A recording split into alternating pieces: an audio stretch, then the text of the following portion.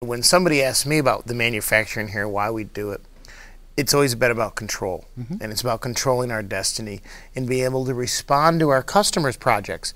Because, as you said, we're not just shipping, building a console anymore. We're selling a system. That's right. And if some project gets fast tracked because of a real estate deal or they've got to be out, we have the ability here with the gas pedal to push something through here or if they discover some unfound snail on the construction site and their project gets pushed off by six months. We can take that project and push it off to the side. Mm-hmm. You know, I tell my customers, you're not buying equipment anymore. You're entering into a long term agreement with this company. Mm-hmm. You're not buying anything more.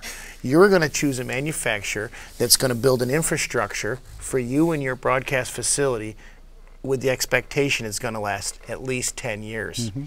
And you know, we work I work with these guys wanting to know every single input, every single output to their system, their fader counts, their knob color preference, right down to the layout, where they want their CD players, where they want their microphones.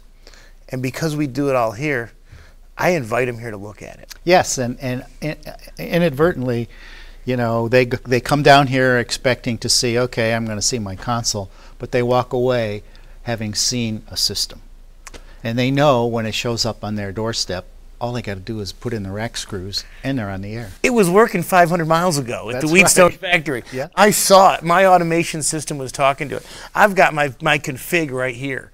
Yeah. You know, and uh, yeah, and, and we've seen that transition over times from somebody coming in and wanting to, to sweep a console for noise and THD and stereo separation to, wow, I've got 25 studios right in front of me. I'm never going to have the chance ever again to see it all working in this place. Yeah.